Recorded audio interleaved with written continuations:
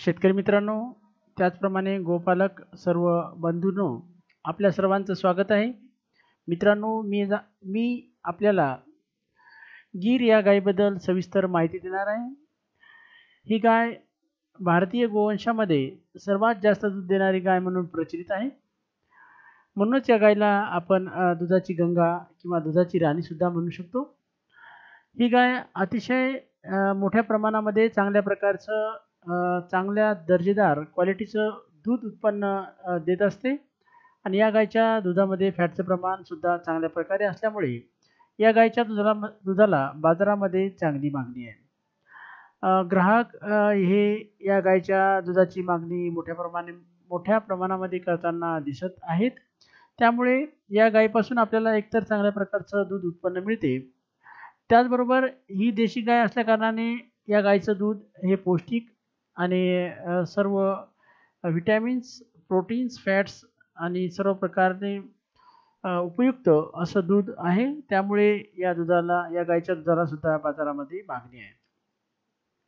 मित्रांनो या गायीबद्दल माहिती देण्याचा उद्देश एवढाच आहे की ही गाय सर्वसाधारण शेतकऱ्यापर्यंत अद्याप पोहोचलेली नाही. खेडोपाड्यापर्यंत ही गाय आत्तापर्यंत पोहोचलेली नाही. सर्वसाधारण शेतकरी बांधवाला या गायीबद्दल माहिती नसल्या कारणाने ते जेव्हा गायी खरेदी करतात त्यावेळेस या गायीची निवड करत नाहीत किंवा या गायीबद्दल माहिती नसल्या कारणाने. या गायीपासून मिळणारा मिळणारं उत्पन्न या गायीचे फायदे त्यांना माहीत नसल्या कारणाने ते या गायीची निवड करत नाहीत. परिणामी त्यांना आर्थिक नुकसान सोसावं लागतं त्यांचं मोठ्या प्रमाणामध्ये नुकसान होतं. म्हणून या गायची सर्वसाधारण माहिती सर्वसामान्य शेतकऱ्यापर्यंत पोहोचावी. त्याकरिता मी या व्हिडिओची निर्मिती केलेली आहे. मित्रांनो जेव्हा आपला विकास होतो तेव्हा आपण आपल्या बांधवाचा आपल्या शेतकरी मित्रांचा विकास आपल्याबरोबर करावा जेणेकरून त्यांची समृद्धी होईल आणि त्यांच्या उत्पन्नामध्ये सुद्धा वाढ होईल. मित्रांनो मी आपल्याला गीर या गायीबद्दल सविस्तर माहिती देणार आहे. जेव्हा आपण डेअरी फार्मिंग करता दुग्ध व्यवसाय करता अशा वेळेस आपण देशी गाईचा वापर जास्तीत जास्त करावा. या गाईच्या दुधाला बाजारामध्ये भावसुद्धा जास्त असतो आणि या गाईच्या दुधामध्ये फॅटचे प्रमाणसुद्धा जास्त असते. जेव्हा आपण एखाद्या डेअरीवर दूध विकायला नेता किंवा आपण स्वतःची डेअरी टाकता अशा वेळेस तेथे फॅट आपल्या गाईच्या दुधामध्ये किती आहे? म्हशीच्या दुधामध्ये किती आहे? यावरून त्या गाईचा दुधाला भाव मिळत असतो. म्हणून जास्त फॅट असणाऱ्या जास्त दुग्ध उत्पन्न देणाऱ्या गायीची निवड आपण करणे गरजेचे आहे. म्हणून जास्त सर्वात जास्त उत्पन्न दुधाचं उत्पन्न देणारी ही गीर गाय आपण दुग्ध व्यवसाय करत असताना निवडणे गरजेचे आहे. गीर गोवंश हा अतिशय चांगल्या प्रकारचा काटक आणि चांगल्या प्रकारचा काटक आणि जास्त दूध देणारा गोवंश आहे आणि यांचे वळूसुद्धा चांगल्या प्रकारे शेतीमध्ये काम करू शकतात. या गोवंशाबद्दल मी आपल्याला सविस्तर माहिती देणारच आहे. तत्पूर्वी मी आपल्याला एक व्हिडिओ दाखवणार आहे. त्या व्हिडिओमध्ये ही गाय कशा प्रकारे दिसते तिचं चालणं कशा प्रकारे आहे यासाठी आपल्याला माहिती व्हावी. याकरता मी एक व्हिडिओ आपल्याकरता आणलेला आहे. आपण त्या व्हिडिओमध्ये बघावं की ही गाय सर्वसाधारणपणे कशा प्रकारे दिसते कशी चालते. आपल्याला आपण बघताय की या गायचे कानं हे लोंबकाळलेले आहेत कपाळ बाहेर आलेला आहे कास एकदम मोठी आहे. स्तन सुद्धा सर्वसाधारणपणे मोठे आहेत त्याची वाढ झालेली आहे. आणि कास ही भरपूर मोठी असल्या कारणाने या कासेमध्ये दुधाचं प्रमाण सुद्धा मोठ्या प्रमाणामध्ये आहे. या गायीची दूध देण्याची धमनी ही वाढलेली असते मोठी असते. त्यामुळे दुधाची निर्मिती मोठ्या प्रमाणामध्ये सर्वसाधारण ही गाय अशी दिसते.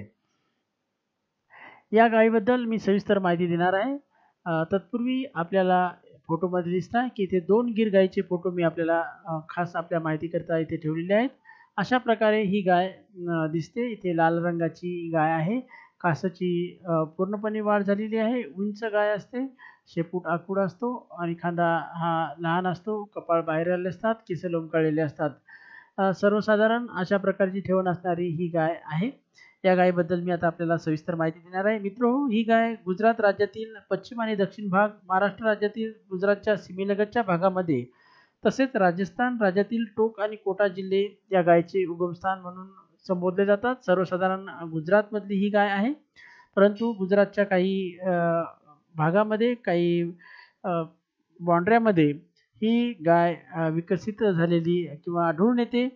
गुजरात सरकार गिर गोवंशावर मोठ्या प्रमाणावर संशोधनात्मक कार्य करत आहे. त्याकरिता त्यांनी ब्रिडिंग फार्म जुनागड येथे एक ब्रिडिंग फार्म उभारलेला आहे. या फार्मवर मोठ्या प्रमाणामध्ये या गायीवर संशोधन कार्य चालू आहे. आणि या गायीपासून चांगल्या चांगल्या प्रकारे जास्तीत जास्त आपल्याला कशा प्रकारे दुधाचं उत्पन्न वाढवता येईल यासाठी या गायीवर संशोधन कार्य सुरू आहे.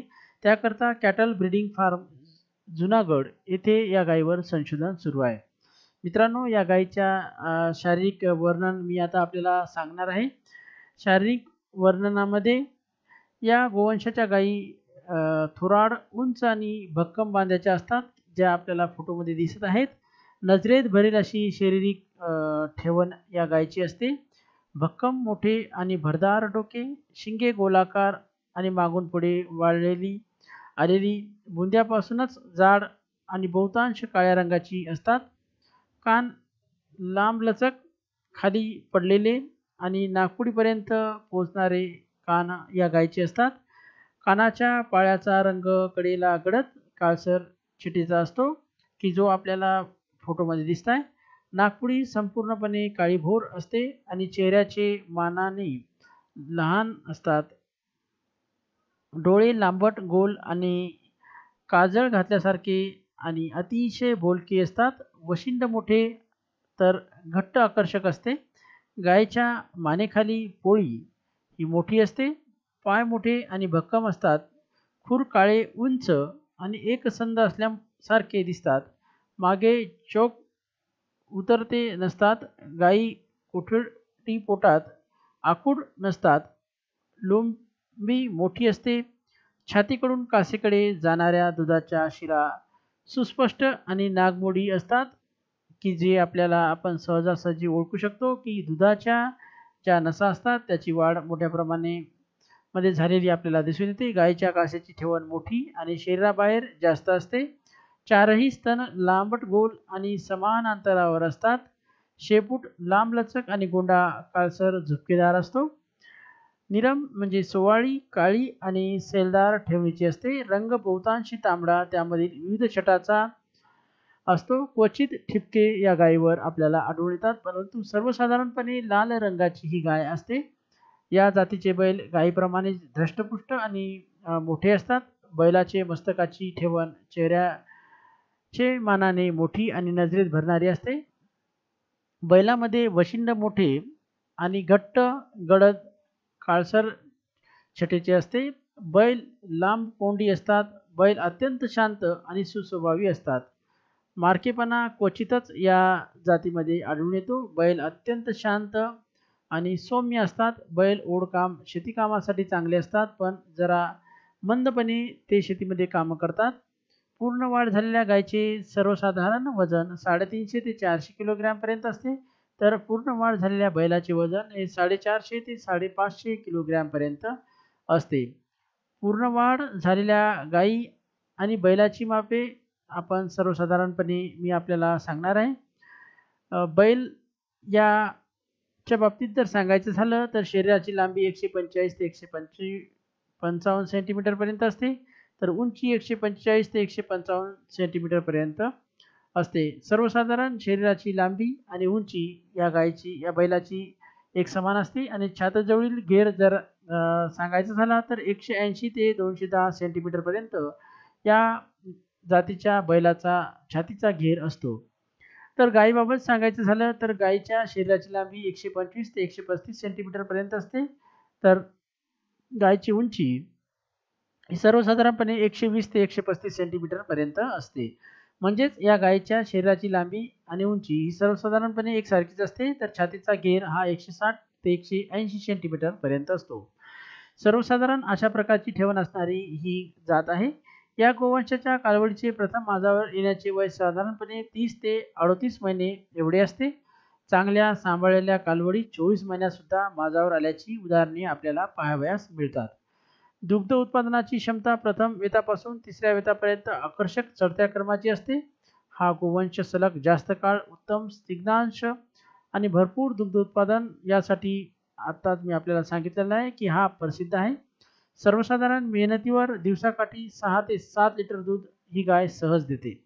आपल्या देशामध्ये दुग्ध उत्पादन स्पर्धेमध्ये चोवीस तासामध्ये सतरा लिटर दूध देण्याची नोंद या गायीची आहे. सरासरी सिग्नांशाचं प्रमाण साडेचार ते साडेपाच टक्क्यापर्यंत असू शकते. एका वेतामधील सरासरी दुग्ध उत्पादन तीन हजार एकशे वीस लिटरपर्यंत मिळते. तर दोन वेतामधील अंतर अठरा ते चोवीस महिन्याचं या गायीचं असते. अशा उत्तम गुणवत्तेच्या गोवंशावर ब्राझील आणि अमेरिकेमध्ये संशोधन झाले असून त्यापासून ब्राह्मणी गोवंश विकसित त्यांनी केलेला आहे. या गायी एकाच ठिकाणी उत्तम पद्धतीने सांभाळल्यास दहा ते बारा वेळी एकाच घरी निश्चित होतात. तसेच चांगली बैलजोडी पंधरा ते अठरा वर्ष उत्तम काम करू शकते. या जातीची खोड वयाच्या तिसऱ्या वर्षापासून शेतीकामास हळूहळू धरण्यास योग्य असतात. या जातीचा वळू निश्चित करताना पुढील निकष आपण आवर्जून लक्षात घेणे गरजेचे आहे. वळूपासून मिळणारे मादी वासराचे प्रमाण उपजत वासरे उत्तम वाढीची आणि निकोप असणे गरजेचे आहे. गोवंशाची सर्व चिन्हे वासरामध्ये आहेत का ही आपण तपासून घेणे अत्यंत गरजेचे आहे. मादी वासराचे प्रथम माजावर येण्याचे वय या सर्व गोष्टीकडे आपण काळजीपूर्वक लक्ष द्यावे. दारात गिर गाय दुधासाठी असणे हे भारतीय शेतकऱ्याच्या दृष्टीने लौकिकार्थ चिन्ह आहे. त्यामुळे जास्तीत जास्त शेतकरी बांधवांनी गोपालक व्यावसायिकांनी या जातीच्या गायीची निवड करावी जेणेकरून जास्तीत जास्त दुधाचं उत्पन्न आपल्या शेतकरी बांधवांना मिळेल त्यांची आर्थिक प्रगती होईल त्यांचं जीवनमान सुधारेल. याकरता जेव्हा आपण गायची निवड करता त्यावेळेस आपण गीर या गायची निवड करावी जेणेकरून आपल्याला चांगल्या प्रकारचं दुधाचं उत्पन्न मिळण्यास मदत होईल. या सर्व माहिती ही सर्व माहिती आपण जास्तीत जास्त शेतकरी बांधवापर्यंत पोहोचवावी. हा व्हिडिओ जास्तीत जास्त व्हॉट्सॲप फेसबुकवर शेअर करावा. जेणेकरून जास्तीत जास्त शेतकरी बांधवापर्यंत ही माहिती पोहोचेल आणि ते सुद्धा जेव्हा गायी विकत घेतील तेव्हा गीर गाय विकत घेतील अन्य दुसऱ्या गायीकडे ते वळणार नाहीत. त्यामुळे आपण जास्तीत जास्त फेसबुक आणि व्हॉट्सअपचा वापर करून जास्तीत जास्त शेतकऱ्यापर्यंत हा व्हिडिओ पोचवावा किंवा हा व्हिडिओ त्यांना बघण्यासाठी आपण प्रोत्साहित करावे. त्यांना या व्हिडिओबद्दल माहिती द्यावी. जेणेकरून त्यांनासुद्धा शेतीबद्दल नवनवीन तंत्रज्ञानाची माहिती होईल आणि तसेच या गायीबद्दल सुद्धा त्यांना माहिती मिळेल. पुन्हा एकदा आपल्या सर्व शेतकरी बांधवाचे आभार. धन्यवाद.